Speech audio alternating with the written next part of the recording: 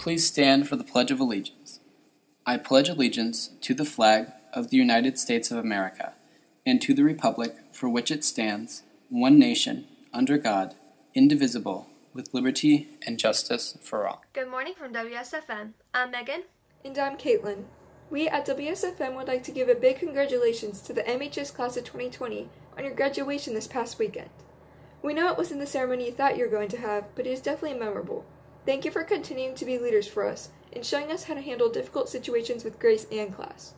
Good luck next on whatever endeavors you choose. There are several important dates for the next few weeks posted on panthercountry.org. First, May 26th to the 28th will be the locker cleanout and book returns for grades 9th through 11th. Friday, May 29th, will be the final day for grades 9th through 11th, and all work will be due. Report cards will be mailed home during the first week of June. Students in grades 9 through 11 can sign up to clean out lockers, return books, and take care of other year end items by going to panthercountry.org and following the links to the Sign Up Genius website. You get to choose the time to come in, but don't delay as times are filling up quickly. Check out panthercountry.org for more details. Congratulations to the newly elected MHS Drama Club officers for next year.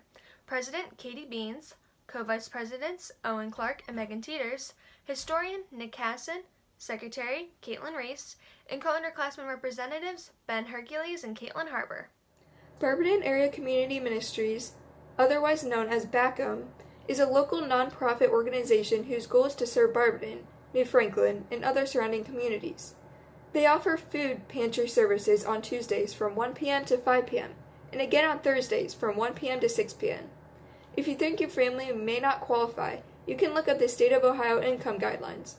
If you do qualify, you can bring an ID with proof of address and come to the 939 Norton Avenue, Barberton, Ohio, 44203. Normally, they offer their pantry services once a month, but as of now, they are offering them twice a month. If you'd like to get more details, please visit their website at www.bacm.org. Mr. Ross has posted an MHS update video on Twitter and panthercountry.org. It includes many updates, like the fact that students in grades 9th through 11th will keep their Chromebooks for the summer, and requests parents and students to fill out surveys. Please check out the May 20th MHS update video today. Remember to frequently check your teacher's online classrooms for assignments, as they may post new updates often. Keep up the good work and don't hesitate to reach out to them with any questions. All of your teachers are available for immediate responses Monday through Friday, from 10 a.m. to 12 p.m. at least. Great news! According to orders by Governor DeWine, local businesses and restaurants are open. Take some time to help support them. Here are a couple of local businesses that need support Game Day Sportswear, Flowers by Dickinson, Honeymoon Grill, Menches Bros, and Tea Bubbles, to name a few. Just remember to wear your face mask. Due to the coronavirus, many families have been forced to cancel trips. Now, thanks to many websites, including airpano.com, you can take virtual tours around the world for free. Some trips include to the Grand Canyon, to Norway to see the northern lights, and even to coral reefs to visit underwater wildlife. You can check out more than 140 videos and almost 400 photos.